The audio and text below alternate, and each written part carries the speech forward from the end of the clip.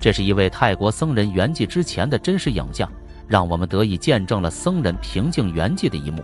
视频中，这位僧人在向其他人交代一番后，开始平静地躺在地板上，就好像他要睡觉了。在他的周边，一群僧人围坐在一起，僧人们向他叩拜了三下，然后双手合十，静静地等待着。这一刻，这位僧人的双眸紧闭，呼吸平稳，宛如陷入了一种深度的冥想状态。期间，僧人的双手稍微动了一下，但此后就没有再动过。僧人的躯体安静无比，整个房间陷入了鸦雀无声的状态，让人肃穆，心生敬仰，也让人不禁感叹这位僧人在圆寂的时刻表现出的宁静与超然。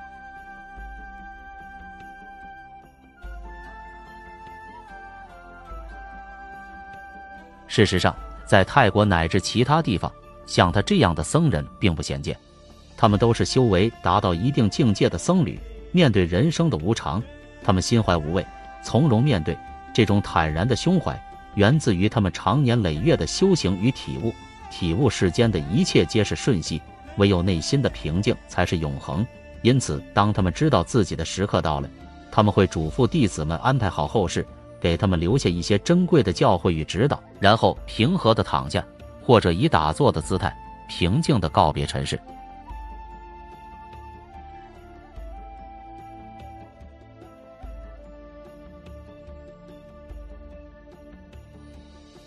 过了三分多钟之后，僧人的右手自动滑下。这个轻微的动作似乎在漠视着他已进入了永恒的宁静。整个过程中，僧人的身体只是轻微的动了一下，看过去好像已经没有了呼吸，神情极度安详，仿佛正处于深度永恒的睡眠之中。